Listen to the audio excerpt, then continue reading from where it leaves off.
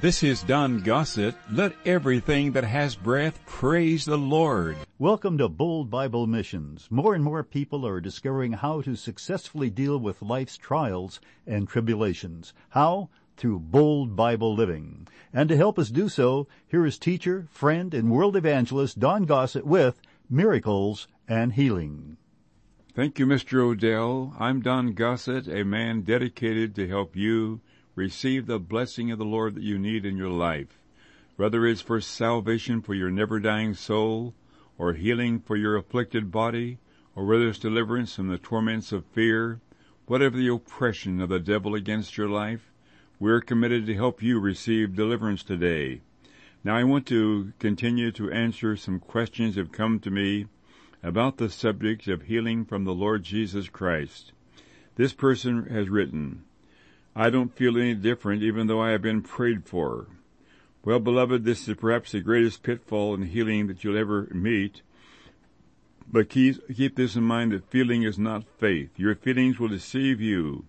When you're prayed for according to the Word of God, some people do feel differently, but faith in God accepts the healing, regardless of feeling, knowing that God cannot lie. Numbers 23:19 says that God is not a man that he would lie, neither the Son of Man that he should repent. Hath he not spoken, will he not do it? Well, this is the truth of God that I am boldly proclaiming, that God is not a man who'd lie to us. He promised in Exodus 15:26, I am the Lord who heals you. Whether you feel God's power in your body or not, the whole matter rests with His Word. The Bible says, they will lay hands on the sick and they will recover. And again it says, He sent His word and healed them. All healing must but be and is based on the authority of the Word of God alone. Christ healed the sick and cast out evil spirits with His own Word. Now here's another remarkable testimony that confirms the power of Mark 16:18. They shall lay hands on the sick and they shall recover. I know of a woman whose doctors had pronounced her incurably ill. She made many attempts to receive her healing. She went again and again for prayer wherever she could go. But after many months she only grew worse and became discouraged. Then she heard our Bold Bible Living broadcast and the truth that Jesus said, These signs shall follow them that believe. They will lay hands on the sick and they will recover. All this challenged that lady. She realized it wasn't by the many prayers of others she would be healed, but by steadfastly believing the promise of Jesus and acting accordingly. Now, it was a real fight of faith. The Bible uh, says that faith is the victory, but the Bible also talks about a fight of faith, a trial of faith, a test of faith. And thank God, faith is still the victory. But uh, her friends, this lady's friends, tried to discourage her even as she maintained her new testimony, they would ask her such questions as, Oh dear, how are you feeling? Or they would inquire, You're not looking well at all. And they would add very sympathetically, We're so con- concerned for you. And this lady would respond to these uh, statements. She said, I'm not going how I look or how I feel. I'm taking God at His word. Jesus said, They will lay hands on the sick and they will recover and that's for me. I've had hands laid on me for my healing, and I know I'm recovering. Well, these Job's comforters, we'd call them, they persisted in trying to throw cold water on this woman's fervent confession of faith. But she was resolute. She had received hands laid upon her body, and she expected the Lord to be faithful. She would not dishonor him by disbelieving his promises. Now her part in this drama of faith was to hold fast to her confession without wavering. She fought a good fight of faith. The Lord made her completely whole. Praise the Lord. So this is my challenge to you. Believe His word. Make it your testimony. Act boldly upon it. And I believe you too will know the truth. He sent His word and healed them. Now here's another question I have received. I don't seem to have the faith. I guess I won't be healed. Well, listen, beloved, if you're a Christian, you do have the faith. For Romans 12:3 declares it emphatically, God has dealt to each one of us a measure of faith.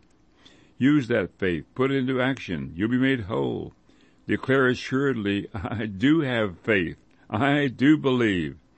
You ask, well, how can I strengthen my faith? And the Bible gives the answer for that. Romans 10:17, faith comes by hearing, and hearing by the word of God. As you hear your own lips speaking God's word, that's faith food. That will build your faith. Faith comes by hearing, and hearing by the word of God. So study that word. Soak in God's word. Accept his glorious promises at face value and act boldly accordingly. Now here's another question. What if old symptoms of the affliction I had return? Well, recognize it's a trick of Satan. James 4 7, resist the devil and he'll flee from you. So, a couple of years ago, I awakened one morning with a splitting, uh, well, let me see, it was quite a few years ago, frankly, as I'm recounting this testimony. I awakened one morning with a splitting headache, and the pain was so severe it seemed like the back of my skull was breaking off from the rest of my head. These pains began to recur almost daily. It was very unusual for me to have head aches, head pains, something I'd never experienced before in my life. And the headaches reached a climax in severity the following month when my wife and I were in a crusade overseas. I determined then that I must meet with the Lord in prayer, praise, and confession of His Word. The Bible prophesies in Acts 2.17, It shall come to pass in the last days, says God, I will pour out of my Spirit on all flesh. Your sons and your daughters shall prophesy. Your young men shall see visions. Your old men shall dream dreams. In the early morning as I lay on my bed speaking God's Word, that by His stripes I'm healed, I had an unusual experience. I saw a man come forward uh, toward me, and he laid his hands on the back of my head where the pain was so severe. It was like a warm, penetrating oil flowing into my split head, as it were, and he and healing was ministered by the Holy Spirit's power uh, through this particular visitation. All the pain left. Now, my response to this was rather unusual.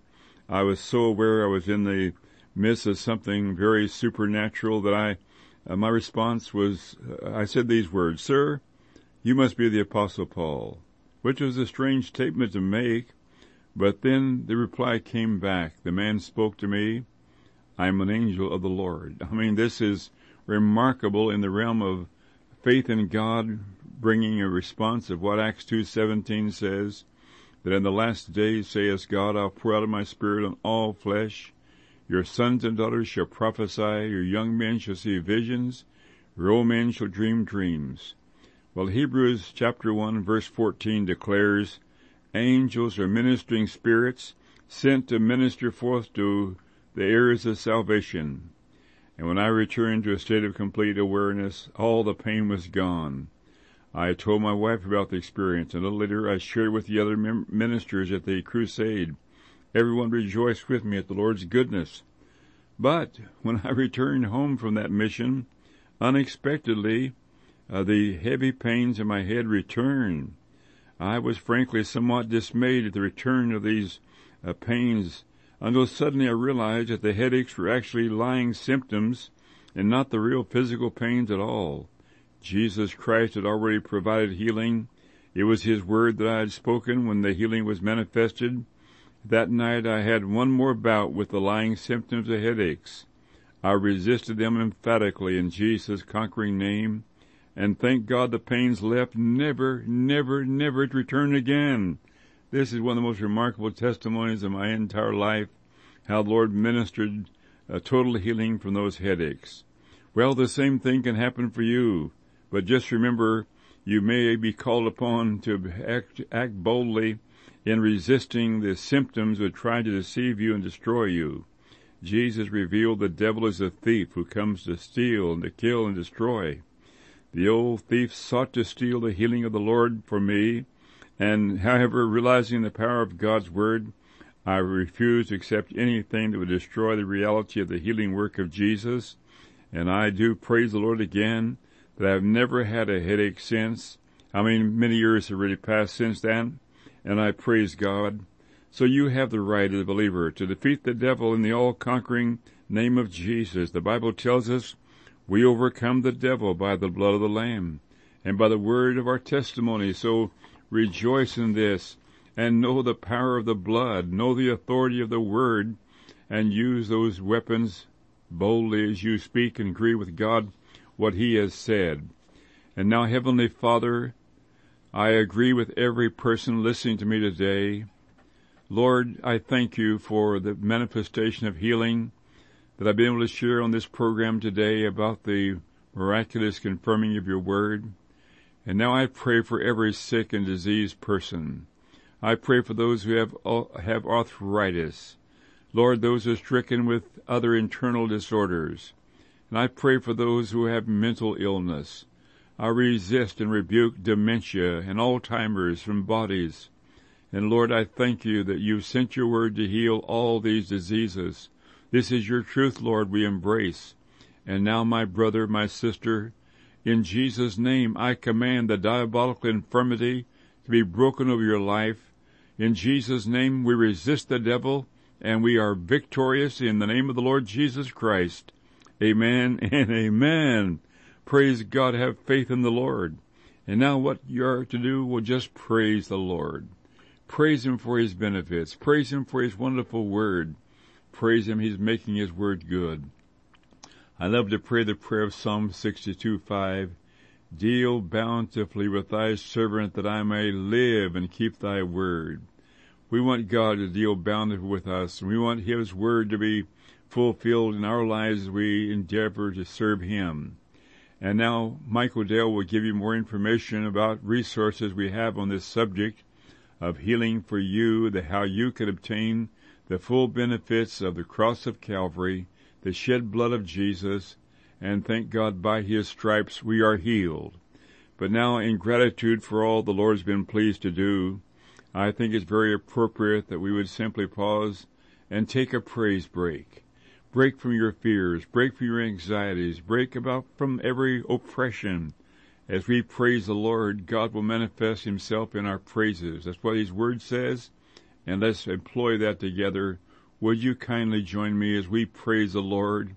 And let's say it from sincere, loving hearts. Praise the Lord. Praise the Lord. Praise the Lord. Praise the Lord. Praise the Lord. Praise the Lord. Praise the Lord. Praise the Lord. Praise the Lord. Praise the Lord. Hallelujah. Ask for a copy of There is a Miracle in Your Mouth, more than 280 pages, written by Don Gossett and E.W. Kenyon. The book, There is a Miracle in Your Mouth, 52 chapters on believing and confessing God's Word, is available to you in appreciation of your love gift in support of this ministry. Bold Bible is a worldwide ministry with all of its outreaches only possible because of you. So please address your letter of support to Box 2, Blaine, Washington 98231 or Box 75120, White Rock, BC V4A OB1. Your love gift to Bold Bible Missions is your way to partner with us in winning the lost for Christ.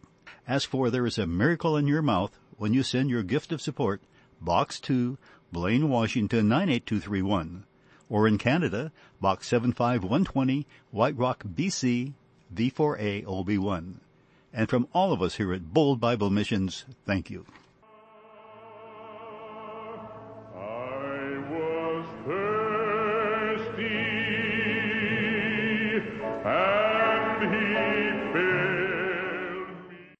Missed a past broadcast of Bold Bible with Don Gossett?